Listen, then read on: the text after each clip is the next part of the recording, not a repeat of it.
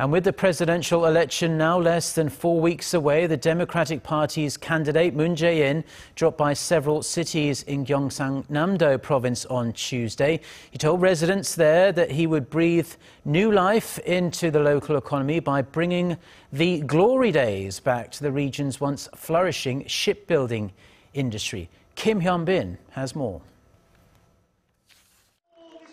The Democratic Party of Korea's presidential candidate Moon Jae-in, one of the two frontrunners in this year's race, headed down to his home base of Gyeongsangnam-do province on Tuesday, making stops in three cities, Changwon, Ulsan, and Busan.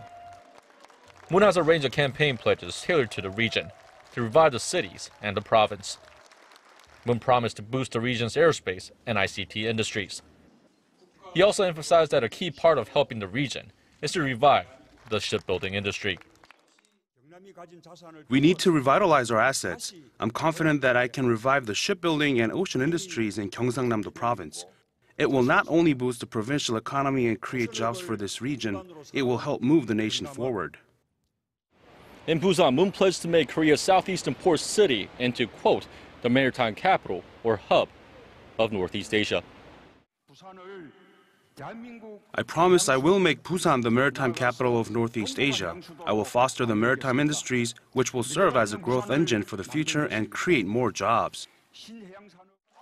Earlier in the day, in an appeal to young voters, the presidential hopeful also promised to bring down monthly mobile phone bills and eliminate roaming costs between South Korea, China, and Japan. He also vowed to require all public facilities and government entities to provide free Wi-Fi services and encourage mobile service providers to lower their service charges. Kim Hyun-bin, Arirang News.